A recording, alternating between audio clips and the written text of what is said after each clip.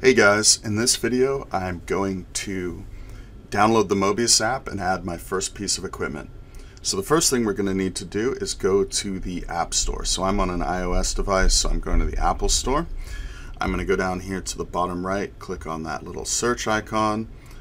I'm going to type in Mobius, M-O-B-I-U-S.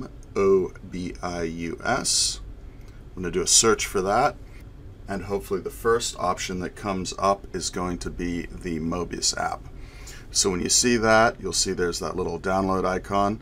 You can see it's a black icon with the Mobius loop in it, and you can see underneath the images showing the tank. If you dig in, you can see which version, etc. it is. So we're going to click on download. Once you see that little circle complete, we will be able to open the app.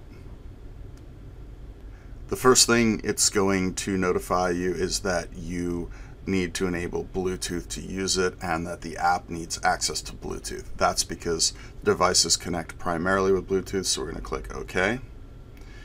You get a little notification saying that in order to leave feedback, you can shake the app. There's also a couple places in the app where you can also leave feedback. So then we're going to go ahead and click accept. Here's your user agreement. Read it if you would like. It's fairly boilerplate.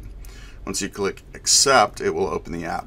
Now here you have the option to either create an account or log in. If this is your first time using it, you will need to create an account. So you only need to do two things here. One is enter a valid email address that you have access to.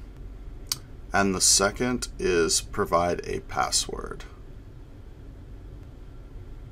Once you've done that, you'll get a notification that says account is created.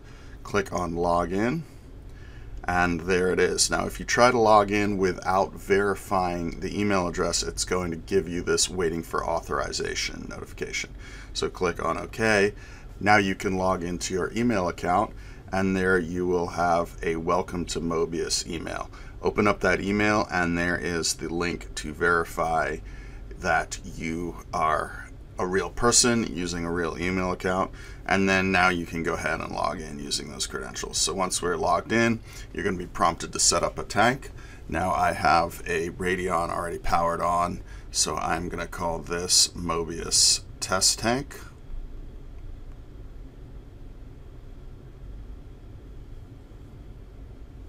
Click Next, and it's going to show you the devices that you're working with.